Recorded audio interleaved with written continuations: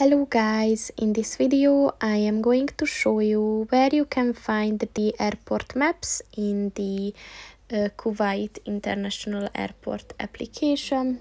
But first I just want to mention, don't forget to subscribe to my channel because at 10,000 subscribers I am going to show you my whole YouTube revenue statistics and growth strategy as well as how to make money online.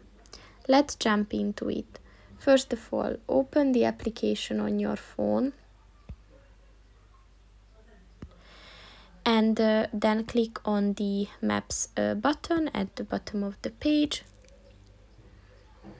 And uh, as you can see here you will find uh, different uh, maps uh, on different terminals and then ground floor first floor. So um, you can just um, find very detailed uh, information uh, on the airport.